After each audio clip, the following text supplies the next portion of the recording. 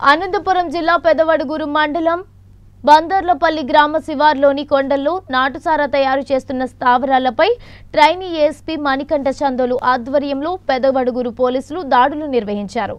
నాటుసారాకి ఉపయోగించే సుమారు రెండు వందల ఇరవై లీటర్ల కెపాసిటీ గల సుమారు ముప్పై డ్రమ్ములను నూట యాభై నుండి రెండు వందల ప్లాస్టిక్ బిందెలను స్వాధీనం చేసుకుని స్టేషన్కు తరలించారు.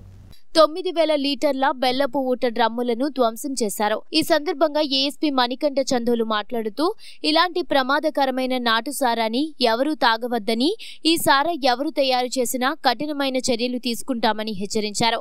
ఇలాంటి అసాంఘిక కార్యకలాపాలకు పాల్పడే వారి వివరాలు మాకు తెలియజేసి పోలీసులకు సహకరించాలని కోరారు. కేసు నమోదు చేసి దర్యాప్తు చేపట్టారు.